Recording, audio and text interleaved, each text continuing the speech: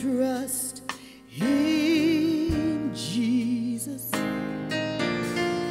just to take him at his word and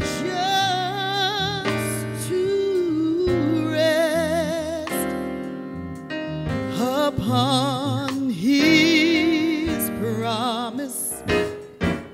And just to know the saith the Lord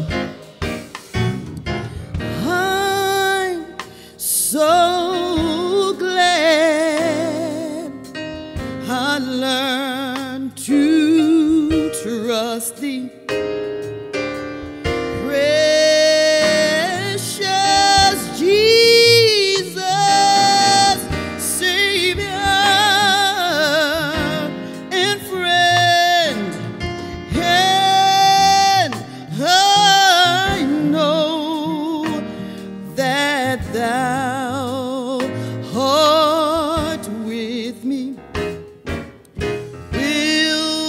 be